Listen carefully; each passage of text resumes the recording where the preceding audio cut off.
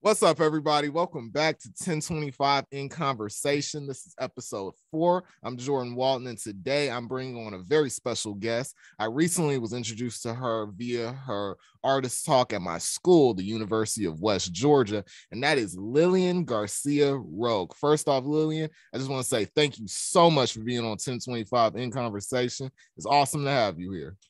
Well, thank you for inviting me, Jordan. It was lovely meeting you at the talk and answering some questions. So I look forward to the discussion. Awesome. Now, first off, if you could just tell the audience a little bit about yourself. Well, um, I'm uh, I'm a painter. I'm also a professor at Florida State University. Um, been there 20 years. Was at UT Austin before that, but always did a bunch of drawing and painting my whole life. Uh, kind of obsessed by looking. And uh, I've been over the years making uh, larger and larger on site landscape paintings made of kind of various components as large as they'll fit in my truck. Um, and I've always been fascinated with the idea of trying to reconcile the illusionistic possibilities of painting with its kind of abstract and, and real material nature. So I want to make images that both seem specific to the site I'm on so that you can go and identify that tree, that place.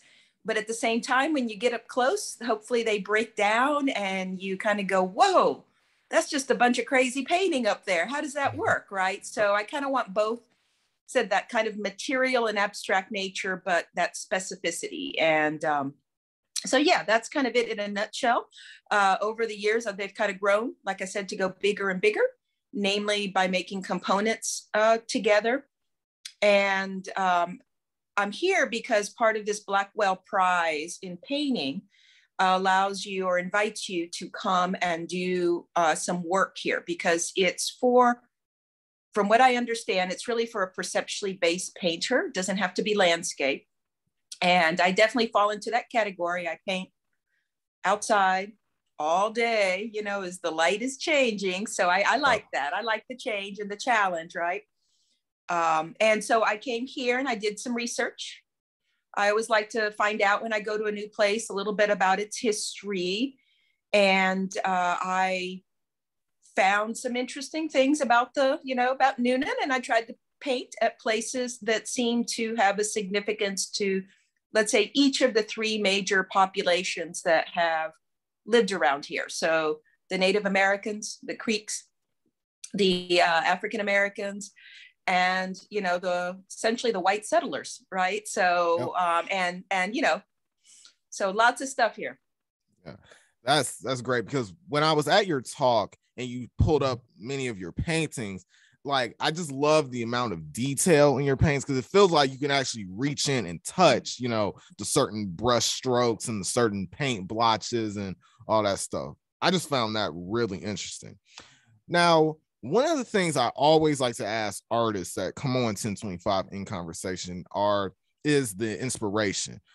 Growing up, what inspired what was the artist that actually inspired you to actually want to become a painter or what was the thing that actually kept the the ball rolling for you to be like yeah this is what i want to do with my life growing up yeah i mean that's a that's a great question and it's also kind of a complex one because i would say it's not any one thing it definitely wasn't any one artist but um i was uh, there was two maybe main components. One is I always lived in my eyes. You know how some people live in their heads, they're daydreaming and they might trip over something.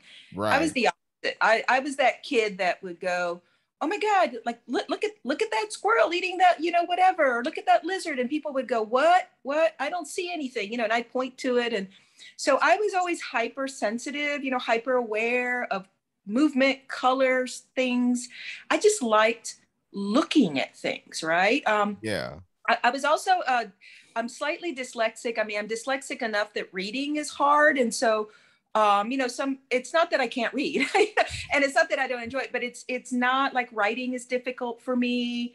Um, you know, it's, it, it's a little more painful. Whereas the drawing, I could always also draw very well, right? So that having that kind of natural interest and ability, was helpful. But then also the other part of it was that my dad in particular really um, liked going to, you know, the Natural History Museum or the Art Museum, or we would drive in the car to go visit a small town. I grew up in Houston, and, and Houston, um, you know, so just exploring, you know, going to small towns. Uh, so, so there was a lot of, I guess, experiences that I had where I could look at things, um, and that helped. I think. Um, like i think it's wonderful like you know that you came to the talk right? I think the more exposure one has to different things then the more one's eyes and minds can open to the possibility of they themselves maybe doing that right? Or studying right. that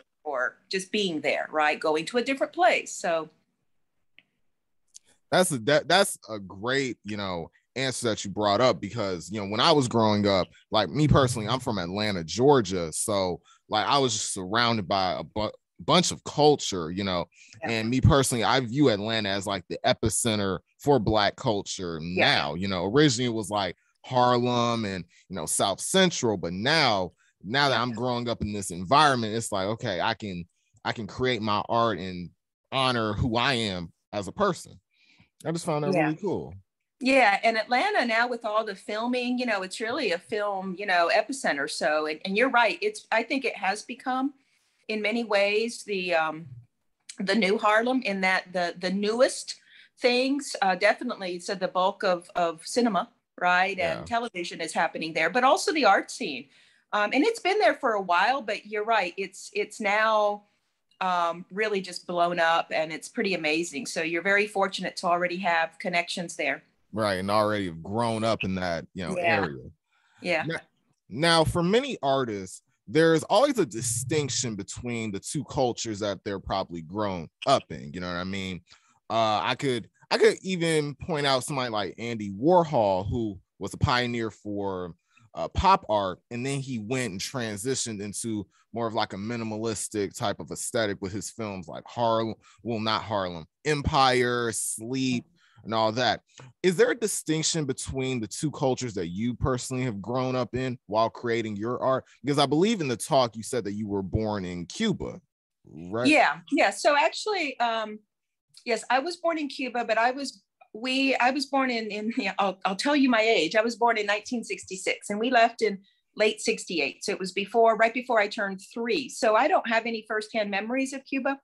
A lot of people when you hear of a lot of people leaving Cuba, they either left quite a bit earlier than I did, like in 59 or 60 or 61, or they left uh, later in the 70s, or they might have even been, you know, born here. There's a lot of Cubans that, that continue to come. So I'm kind of a, what I would call an in-between generation where I don't remember Cuba. And yet my whole experience of growing up in America was colored by the fact that my parents, like many Cubans, I think never quite acclimated because I think Cubans, um, this might be interesting for your audience. Cubans are somewhat, somewhat unique um, in that most Cubans are technically refugees, right? They they came here thinking they'd go back to Cuba.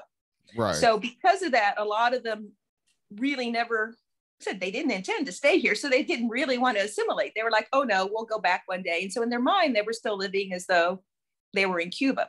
And I say this because little things like if I wanted to go uh, to a sleepover at a friend's house, they'd, you know, I the response would be, but we don't do that in Cuba. Yeah. Well, it's like, well, but wait a minute, you know, so I, I, you know, in my mind, I'd be going, but I'm, we're not in Cuba, you know, I'm growing exactly. up. I'm, I'm not growing up in Cuba, right? So why can't I go do normal things, you know? You know, so it's always, oh, in Cuba we don't, in Cuba we don't, therefore you can't. And so I kind of had to bide my time and figure out how to assimilate on my own. And assimilate isn't quite the right word because I guess I wanted to assimilate, knowing I couldn't quite assimilate.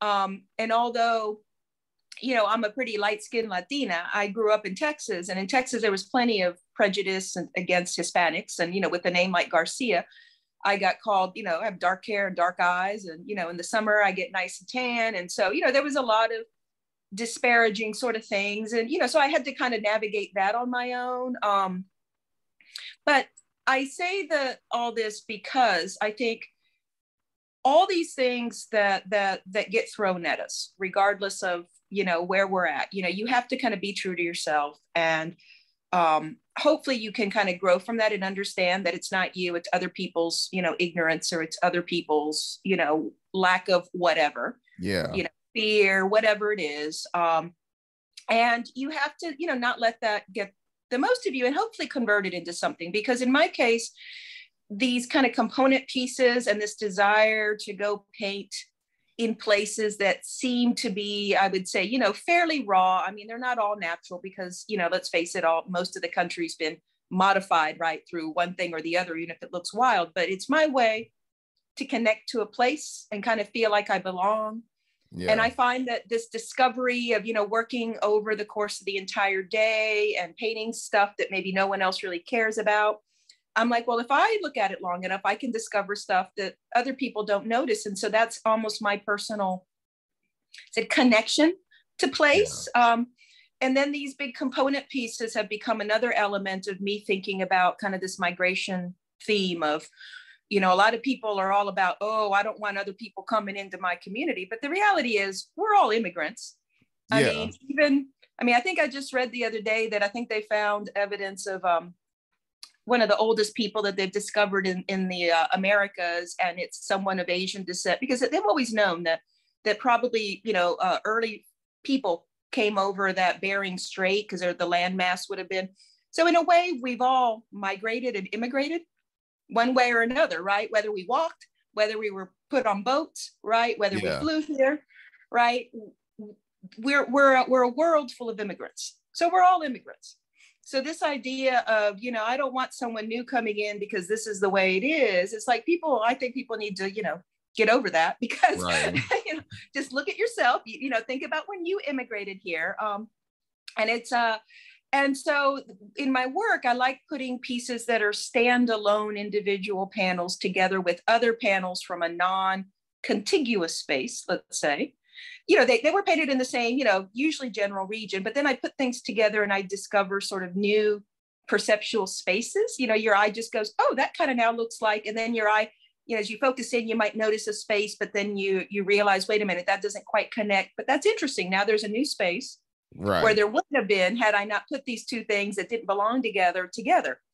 Exactly so i think you know that to me is this you know kind of migration metaphor right that new spaces are created when in two individuals from different places combine right or meet right right at the end it yeah. is it's very interesting when you bring up the fact that yeah the united states is a world full of immigrants and how some of the best art can come out of these certain societies that we live in because like if you take me for example like with my podcast this was born out of the uh the summer of 2020 with you know the george floyd situation the social unrest that were happening. And then i literally had this idea over the summer. I was like okay let's see what if i actually made a podcast? Then i had a mm-hmm. conversation with my friends and i just automatically bur- blurted it out. I was like hey do you guys want to start a podcast? And they already was like yeah i'm here for it. Yeah and that was awesome. That's just awesome. A great feeling. Yeah. Now, in everyday life, as an artist, in our everyday life, we have to keep being inspired. Uh, the scariest thing to me as an artist is that the day that you don't be uninspired, you feel like you didn't accomplish your goal. What in your ever everyday life do you do to kind of keep you more inspired and keep your creative juices flowing? Well, I mean, I think I'll go back to this idea of just discovery, right? Um, noticing something. Um, one of the things I, uh, when I teach drawing or even painting, I talk a lot about just looking, slowing down and looking. You know, don't assume you know what something is and then just draw it out of your head. So, like, I force my students to do a number in painting. There's like three or four uh, perceptually based assignments. And I explain to them, look, I know you're probably going to want to work from photographs and use a combination of photographs and other things. And I understand why people want to do that. And actually, that's a great thing to do, have other sources. But for these assignments, these are the reasons why I'm going to force you to work from life. You know, you can get certain things. I'm trying to slow you down and really look and give you tools to kind of analyze and compare and contrast and be able to see more than one um, monocular, right? Because that's what a camera right. is. It's a one monocular view that really radically changes the colors and the value tones. I mean, it really, a photograph um, exaggerates tonal changes and it can't capture all the various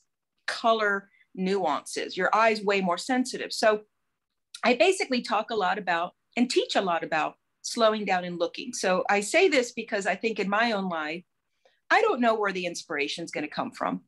Um, but I hope that something piques my interest, whether I'm reading it, whether I'm you know even on instagram. I mean i don't use instagram passively. You know if i find an interesting artist that you know that maybe like my work or i'm looking at something and i go oh that's interesting you know someone sharing someone else's work i'll go to that person's website. I'll do research on them. You know i'll, I'll try to yeah. learn about their practice you know what they're doing. Um, you know i read you know i i you know we do um yeah so i i'm always just you never know. And even here like when i came to Newnan all i knew was how much, how many canvases I could bring in my truck. Uh, yeah, I wanted to maximize that. And I knew that I had to, that I was going to work on site somewhere. I didn't know where at the time. I'd done research, like I mentioned, um, but I had not picked out any places yet because that involves going somewhere and seeing if it right. has kind of maybe that potential. Can I even get the truck? I mean, sometimes it's as simple as can I even drive up to this spot and paint, right? Exactly. Um, and then from there i just I'm, I'm open to to seeing what comes and and you know i haven't been here that long but i've i've made 10 paintings since i've been here um, which is a lot of paintings for the number of days i've been here um, right. and it's really come in a very natural flow um, the first place i had no intention necessarily of painting of but i had an intention of going to was when i read that Newnan had the only african american um, they called it museum. I think it, it's really more of a research center in the county. I thought, okay, that'll be a great place for me to go and talk to folks and see, you know, if there's any sites that might be, you know, of interest that I can get to, you know, around here. And when I got there, the place is only open on Wednesday. So I got there like on a weekend. Um, and it turned out that it was this site that was very much like places that I normally paint at, which is a very nondescript place because I, I, think you know you may know the history, but it's it's a it's a cemetery. It's actually the largest African American slave cemetery in the yeah. South that we know of. That we know of, right? Um, and right now it's a four acre spot, and the only reason we know of it is because about 15 or 20 years ago. Um, they were going to develop, do some sort of park or some sort of path through it. And some old timers in town. I mean, they were both uh, from the Black community and white community thought, you know, they kind of thought, you know, we think that that's actually an old slave cemetery because it was part of the Berry found, uh, family plantation. Um, and there was one little headstone that they found. And so that was enough to convince the city to stop. And they did some uh, LIDAR, some of these uh, uh scanning, you know, radar type of things. And they discovered almost 240 bodies. So, but when you go there now, you don't see there's no there's no headstones on anything right just that one little one and it just looks like you know some oak trees some pine trees and some you know low kind of grass and a lot of poison ivy right. and there's a few markers of uh, white uh, pcv pipes with orange on top and a few of those orange flags that are poked in areas where they know there's certain graves i mean they're not all marked but it's really a little eerie because you, you look at this this site and it just looks like an open you know, a couple acres of land. And then you see a couple of these little orange flags. And so I really was like, wow, you know, this is, you know, because I knew the history, I knew that these flags weren't just like, I'm going to build like a path down here. Like this is where right. a body, a family might be, you know, that worked here maybe for generations. And so I really felt compelled to paint that site because it was both, you know, what I normally do, which is a, a seemingly nondescript site, right? Um, but in this case, it had such extra weight knowing the history. And so I got permission. I didn't go into the, the gravesite. I just painted off the side of the road, but I painted three different parts and I waited to paint the central image with, uh, I knew I wanted to have a triptych, kind of like, um, you know, in, in, you know, in churches, they often will have triptychs, right? So I wanted the central piece uh, to be one of those um, markers, a tall white marker with, and there was one that had a smaller one. And I'm, I'm assuming, I mean, I don't know this because there's no specific um, uh, history that I could get at this point about it, but I'm assuming it's more than one body, maybe a young, you know, a, a small in the center. And I know you're not supposed to put your, you know, like a you know a, something right in the middle of a painting but i purposely wanted to put this right in the middle of the painting i had a vision yeah. for the orange has to be kind of kind of going up i wanted you know, i painted all day i wanted there to be a sense of in a way joy or redemption yeah. you know i wanted it to be you know a a painting about connecting to this place and really seeing the the the beauty and yet acknowledging Very what this was right? And so that was the first you know so those were the first three paintings. And if you had asked me before I showed up to Newnan if I was going to be painting, you know, this place, I would have said no. um, right. And so, and then that made me think of, well, okay, you know, I wanted to do something. I was doing research on the Creek Indians and seeing if you guys had any like mounds and so forth. And there weren't really mounds in the proper Newnan area. I mean, I know about the whole McIntosh, you know, reserve and all of that, but it turns out that one of the places I was invited to paint at the the people that own the the place uh, there was some areas that were kind of undeveloped and you could still see she was she pointed out that you could see a lot of terracing that the creek indians had made to uh, preserve um, you know to keep the runoff right it's like an um, it's it was something that they did to be able to farm and keep you know the soil kind of richer and so you could see on this property all these terracings i mean yeah. it's subtle but it's there. And so that, so I was like, wow, I'm actually standing on, you know, what clearly was Creek land, right? So I thought that there, I couldn't find any. And in fact, I was on there. And then she showed me this, um, this, it, it was a modern day recreation of like a, um, uh, the history of the land. And it actually said that this land, the original white settlers that got this land, they got it, it was part of the South Lottery on February 3rd, 1827, they mm-hmm. were awarded, and this wasn't this family, it was the original, you know, settlers. And, you know, I know the history that in, you know, two years before, the Creek Indians were forced to cede all the land in this county, right? And so two years later, this land goes into, quote, a lottery for the Georgia white settlers to get, right? Um, and so it was really kind of fascinating that I had inadvertently happened on land that I did not know when I went there to paint had all this history until said the current owners pointed out the the terracing by the Creek Indians on yeah. part of their land. So so that's kind of how it is. You know, you're open to discovering. I mean, I do research. You know, I'm, I'm aware, right? Um, but and I I but I'm like, wow, okay. Um, here's a connection. I'm I'm um, you know I'm so then I was able to paint a triptych. I did a, a, a triptych on that land and I focused on fallen logs. And I wasn't thinking the metaphor of ceded lands or fallen, nate you know, I wasn't necessarily thinking that.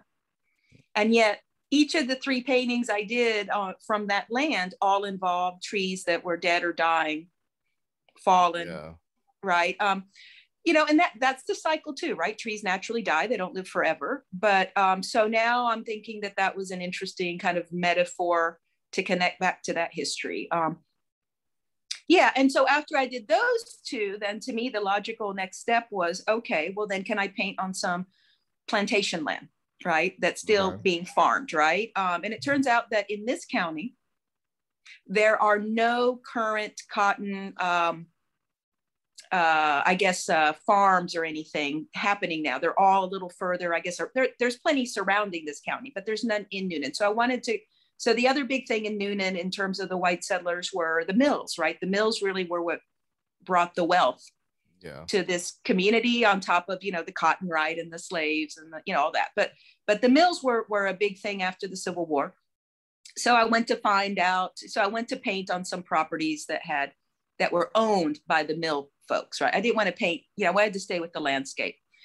And then just to finalize that, I knew that there was that Mills battleground, the, the Confederate battle uh, field that's in town. That was the uh, one of the few, uh, I guess, wins for the Confederacy, right? It, it, they they kind of um, they defeated, I guess, Sherman's army for a little bit, and it made Sherman actually change his strategy in Atlanta, right? And so I went there and I did my final painting Okay. Was it the Confederate battleground? So I feel like I've touched on each of the kind of major um, you know, historical, you know, groups of people that were involved in creating Newnan as it is now, right? Um, and, um, but, you know, as I said, Jordan, this was not my idea coming up here. I just said, I'm, you know, I got these canvases, I'm going to paint on site, right. I'm going to see what I can find. So going back to this, you know, just being open, right? And then seeing where, where, where one thing leads to another. Right that, that was a very impactful history lesson. I can tell you that. so now when it comes well, next question. When it comes to creating, a lot of artists nowadays, they either go with the old way of painting, you know, physical, you know, all that. A lot of people do it digitally now too. Yeah. When you're working in your sort of environment, what's the biggest, what's the thing that you personally, what's the equipment however do you like to use the most? You know what i mean? Is it do you like doing digital or do you stick to the old fashioned oh, way of physical? yeah no no. Yeah no i i mean i personally you know i'm i'm too old to have kind of grown up with the digital stuff. I mean i'm old school um, painting drawing but the the paint always appealed to me um, when i first tried painting in high school i mean first of all i come from a photorealist background in high school i mean most people learn how to draw first right and i right learn how to draw. You know, I could do the 9H to 9B situation. I could draw from life. I could draw from photos. So I got technically very proficient with that. But when I picked up paint, I assumed I was going to be a photorealist painter just because, you know, that's what I was doing with drawing. But what happened is early on, I really just did not want to flatten the paint out. Like I liked that visceral quality or that materiality that paint could give me that graphite couldn't. And right. so, yes, I forced myself to draw, you know, do the layers and be more photorealistic, but I realized that I don't want to, I enjoy being in the moment. I don't enjoy going, okay, I'm going to now plan for what I'm going to do. And I know it's going to take me 150 steps and I have the patience to do that. I'm like, you know, I did that kind of withdrawing yeah and you know so so paint could kind of give me this sort of i don't know more of a push pull you know it just had this you know, I, I, i'm not a good sculptor like i'm not technically maybe this is as close to sculpture as i can get maybe this little bit of materiality so so the digital stuff there's no um you know because i paint on site you know there's no real point for me to take a computer and then have this translation of something i'm looking at on a screen you know although artists like david hockney who you know also paints on site he paints in different things but he's known uh, he he would do these little paintings a day of just little still lifes and things and send on his ipad to his friends and stuff yeah. um, so it's not that i wouldn't consider that but i just um, i've not um, i guess i don't need to be drawing all the time and so when i do i really love the brushes, you know, the glove. I mean, I wear gloves and I stick my finger in the paint and I squeeze, you know, tubes out. Um, and it's really, um, you know, it's definitely a dialogue with nature, but there's a lot of physical pushing and pulling. And so for me, um, I go a little crazy when I'm doing the mouse or the, you know, I guess tablets are better. Um, but there's just something about me needing to touch yeah. and more than a pad but but um i think if i were you know 30 years younger um i'd be curious you know i'd be curious if if if i would you know be interested in what i'm doing now or if i'd be all over you know the stuff you can do with animation and um even virtual reality now and stuff like that. I mean you know i wonder like i even wonder if someone like you know michelangelo if he had been or leonardo da vinci even better i mean if he had been alive today would he really have been doing drawings with oil painting or would he be one of these VR people, right? You know, because he was always experimenting, right? Pushing right. what was the most, you know, modern thing for his time. Right. Right. So I don't know. I mean, right now I I don't have um, I mean, if I were to be invited to be in a group, right, that uh, that said, hey Lilian, we have, you know, someone who really is a digital, you know, a, let's say a VR genius and we can collaborate let's collaborate on an idea that sounds really fun to me yeah but the learning curve on knowing the tools to be able to do things at the level people do it at it's just way too steep for me to jump into that on my own. Definitely. Yeah. i definitely so, oh oh you can keep going. Oh that was it. Oh okay I definitely agree with that because you know when you're working in a digital space, which I've tried, you know, many times, it's very, very complex. Like I remember when I used Photoshop for the first time, and I was like, how do people, you know, how do people use this stuff? And all the tabs were locked and all that stuff. And it, it, it takes a lot of time. You just got to learn it, you know, yeah. especially yeah, someone at my age. Yeah, well, and even I mean, there's that old saying that to be an expert in anything, you need at least what ten thousand hours of right work in it. So, right. you know, I think that, and, and, that's why this idea of working with teams or collaborating is exciting, right? Um, because you don't have to learn everything yourself. Yeah. But you need someone who knows how to, you know, how to do some of it. So I definitely agree. Now, when it comes to creating your paintings, what's the main message that you try to encapsulate while expressing? Well, what's the main message that you try to push in your work when you're creating? Yeah, well, I don't, think I'm trying to push any message per se. I think I just want you to to use perception, like I use, as a way to be sensitive to something and then possibly think about it, right? Bring your own, you know, I, I don't want to say baggage, that, that's a negative word, but, you know, bring your own experiences, right? Your own history to, to it.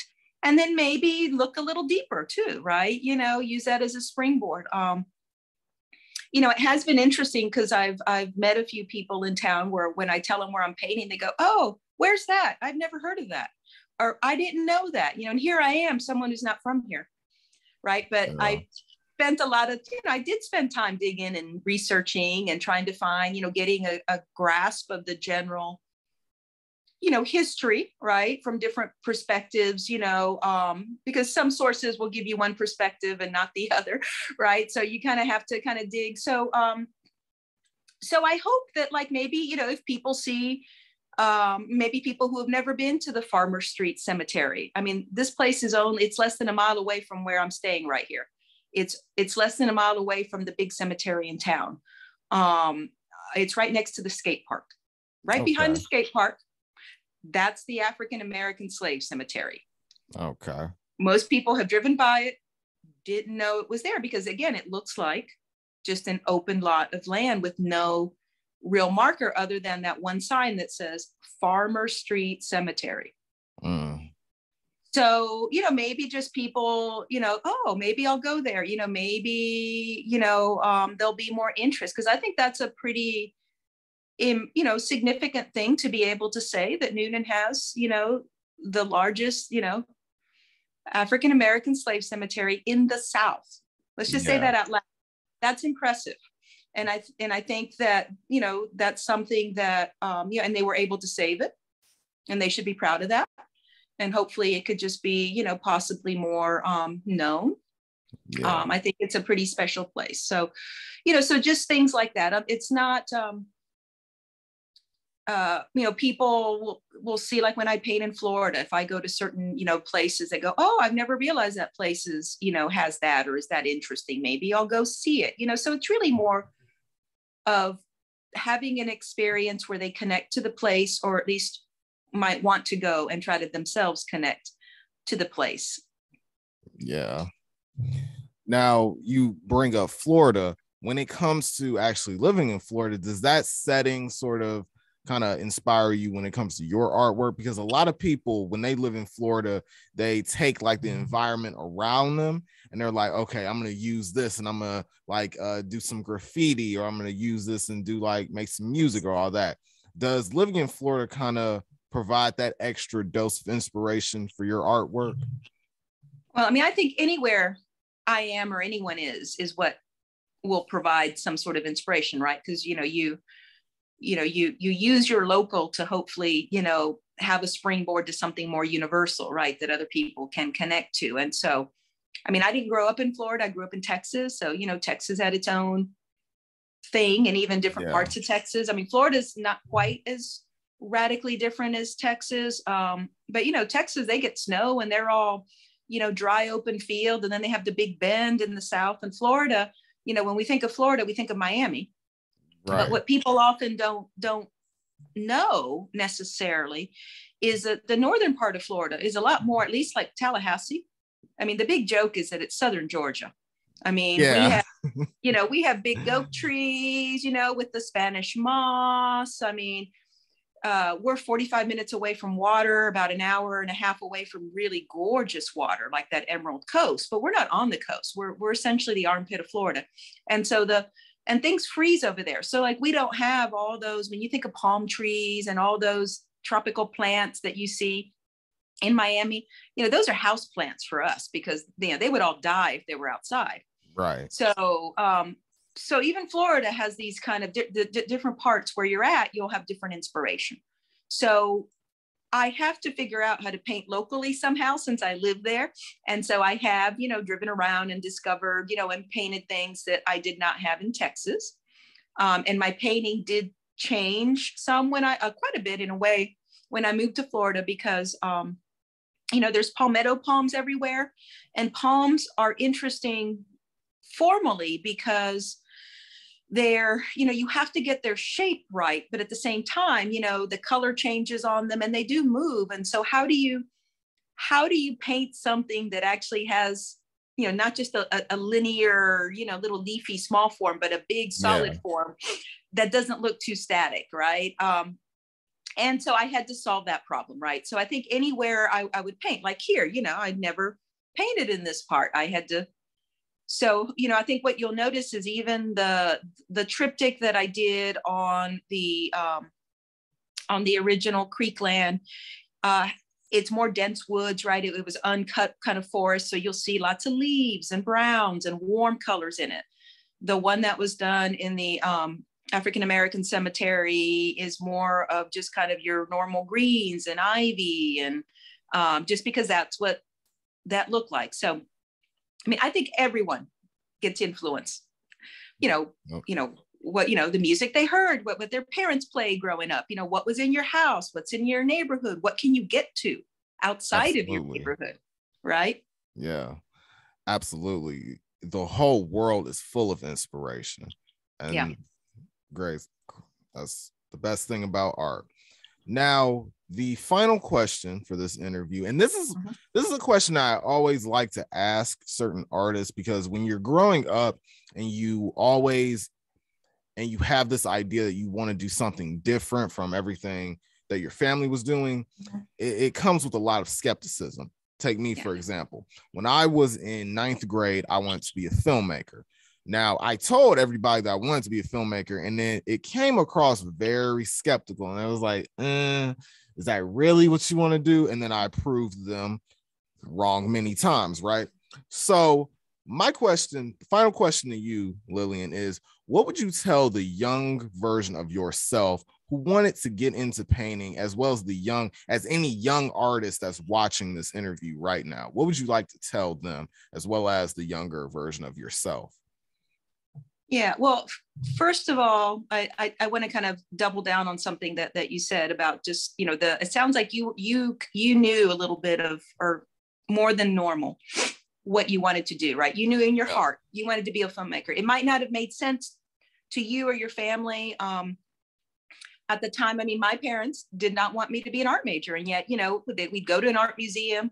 They let me take art classes when I was young, but when it came to thinking about that as a choice for college, you know, being immigrants, right? You know, most immigrants or first generation, um, you know, if you're first generation uh, college or your parents were first generation college, there's a lot of pressure on kids to have a degree that seems to be more likely that you will immediately get a job, right? So in my case, I was to study either medicine, engineering, possibly law or business. They were the the you know because those were things that my parents understood as oh you can you know your child will have a reasonably good chance of having a at least normal economic life. Whereas an artist is scary right? An artist is something that almost you know you often see um, i would see this a lot teaching that many of the kids that are art majors come from more affluent families because they have a cushion to fall back on right? The parents can say Yeah. sure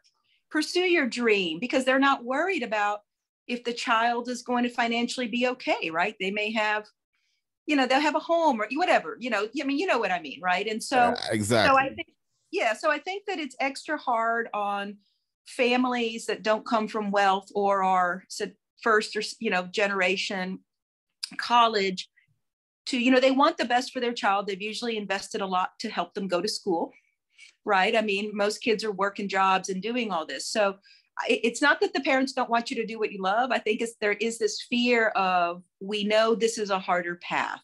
Exactly. So i so i i know that the, it comes from a good place but i think going to your you know my young self and it sounds like you too i was in spanish there's this term called cabezota which means hard-headed. And I think that actually being hard-headed is is good to a certain, you know, you don't want to be so hard-headed that you're narrow-minded, right? Yeah. Um, and just, you know, don't, but you know, this idea of being hard-headed really can translate into like knowing thyself, right? If you have a true passion and interest, you know, you have to be realistic about if, if it's going to be hard, right? An art degree is not an easy path, but it's a viable path. And if, and if it's a path, and if it's something that gives you joy, you know you have to acquire the skills you need to then be successful and you have to understand that it's a long game right? That you're not going to instantly graduate and get the 50 or 80 or 100,000 dollar job.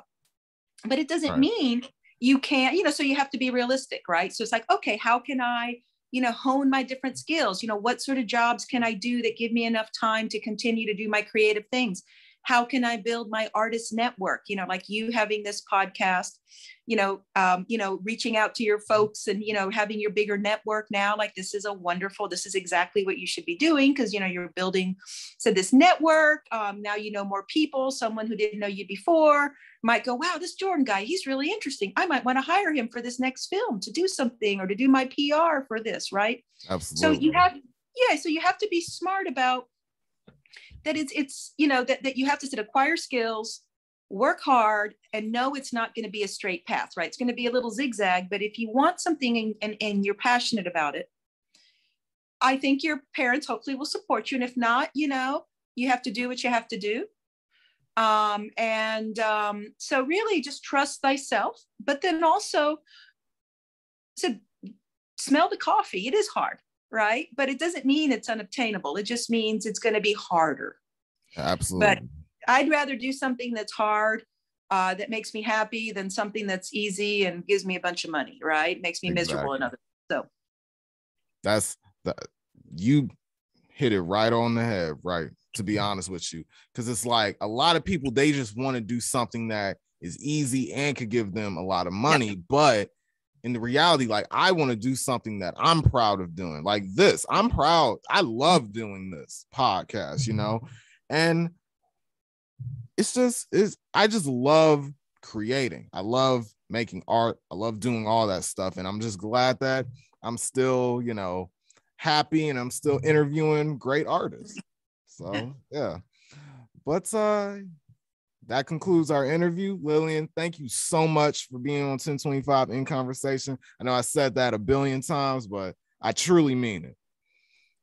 Well, thank you for having me, and I look forward to seeing your uh, continued successes, Jordan. Thank you. And thank you all for watching the, t- I was about to say 1025 podcast. Thank you guys for watching 1025 in conversation. I'm Jordan Keith Walton, and I'll see y'all next time. Peace. Bye.